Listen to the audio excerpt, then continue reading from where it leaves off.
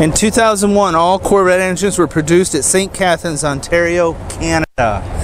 This beautiful 2001 black six speed convertible has 23,000 miles on it. Here at BuyAVette, we have three designations of cars, folks value Vettes, cars that are going to need a little bit of TLC, our N cars, cars that we call everyday cars that have been driven and, and, used probably as a daily driver, and then our certified cars.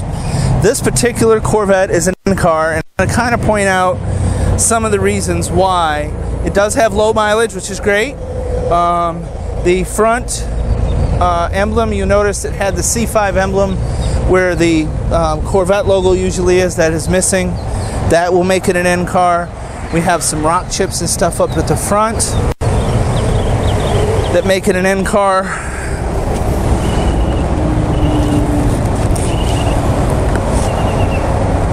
The emblems have been blacked out.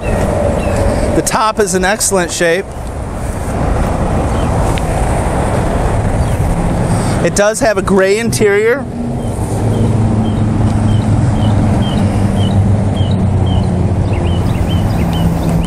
And I want to show you all the bolster of the seat. It does have some wear on it right there.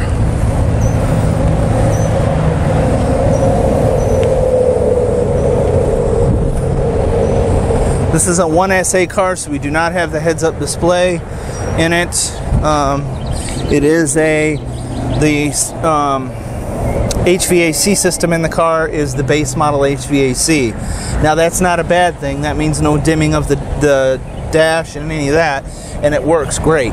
So.